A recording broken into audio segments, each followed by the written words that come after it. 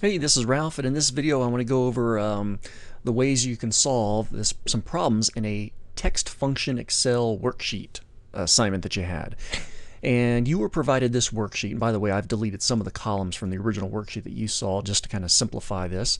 But uh, basically, you had a uh, you had an Excel spreadsheet with um, quite a bit of data in here, a bunch of uh, people and uh, and home prices and things like that. And I do have the directions, and the directions are right you know right in here. So they're going to be off screen in my recording, and I just want to kind of refer to these as I go. And let me pop that Excel back open. There we go.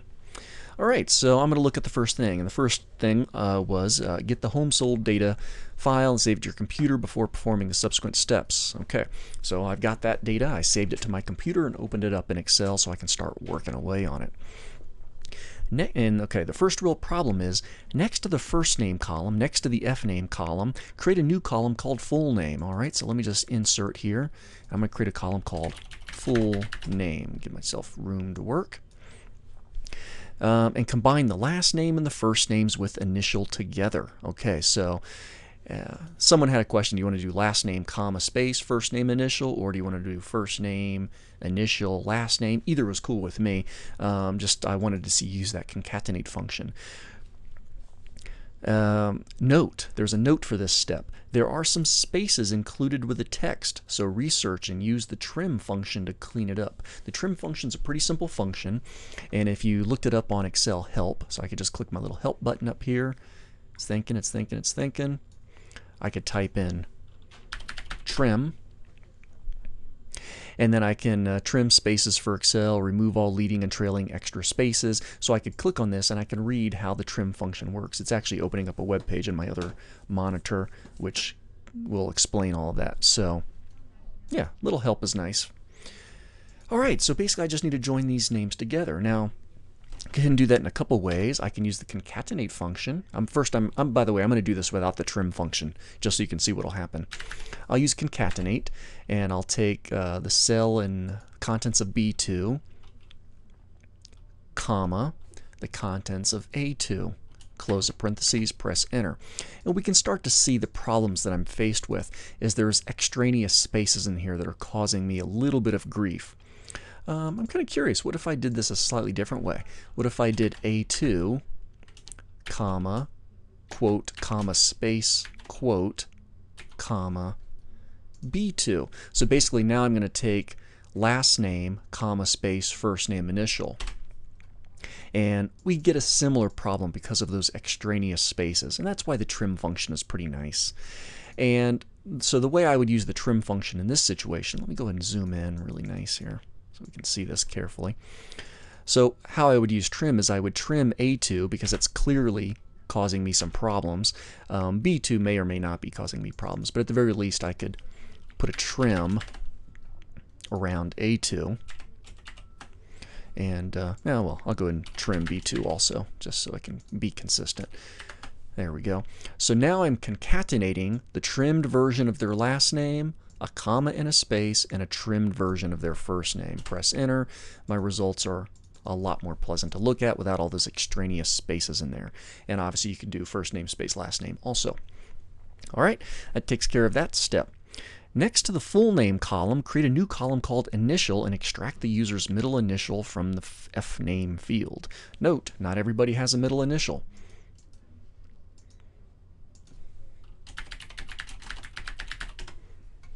Middle initial. I'm going to hide this full name column so that way it doesn't get in my way and I can see all the stuff in the in this recording here. So basically now I want just that middle initial. This shouldn't be too bad as long as we can determine some information about our data. Um, here's what we might get into a problem with is not everybody has a middle initial. People that do have a middle initial, how are they different than people that don't have a middle initial? Well, people with a middle initial have a space, okay? So Robert space A, Joshua space L, Patricia space A, but Aaron, no space. Um, who else doesn't have an initial? Almost everybody has an initial. Here we go. Bruce doesn't have an initial, so no space there. So I want to find people that only have a space, okay? Well, what if I looked for a space? equals find, find the space within the name. Let's see what that gets me. And let me just center this for now, just so my numbers stand out right in the middle. And I'll just autofill a few of them. Wow, everybody's getting a space, including Aaron. That's because, remember, I've got extraneous spaces here. So what if I only looked for a space in the trimmed version?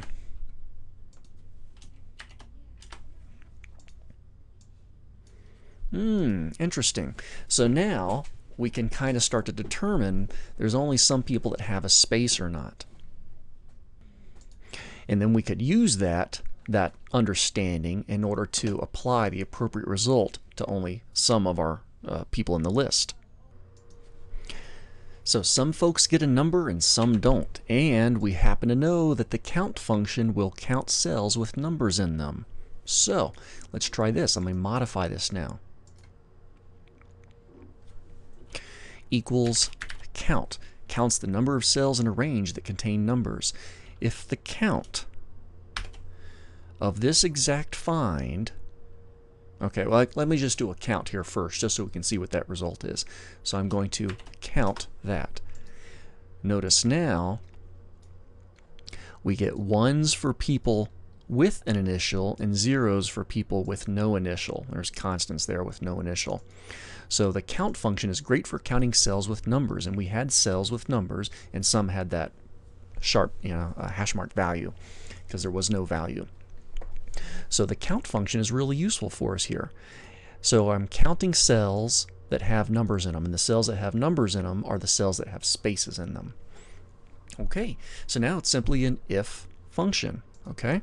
So I'm going to do an if. If the count of the finding of the spaces produces something greater than 1. Actually, I guess we should say greater than 0, or we could just say equals 1. How about equals 1? If that's true, then I want to do um, the middle initial. How do I get the middle initial? Well, since the middle initial is at the very end of the trimmed version, I could just do the right of the trimmed version of the name. Uh, I'll just type in by hand, B2, for one character. And I think that finished that one more parentheses. Got a lot of parentheses in here. I am using the color coding of the parentheses to help me out. Press my enter key, middle initial of A.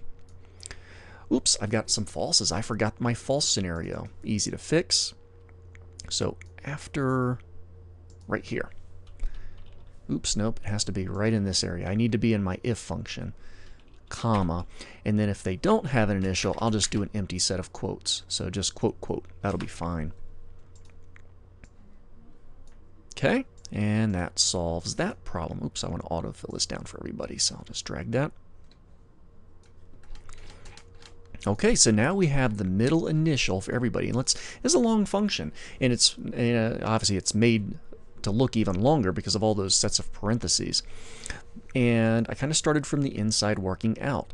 First, I was just curious about my data, so I used a find function to answer a couple questions. And the find function, finding a space in the trimmed version, that let me know if they had a space or not. And if they had a space, that was the big clue that they had a middle initial. Now, the result of a find function is a numeric value. So if they had a space, then they had a numeric value. And the count function is fantastic for counting cells with numeric values. So I counted cells with numeric values.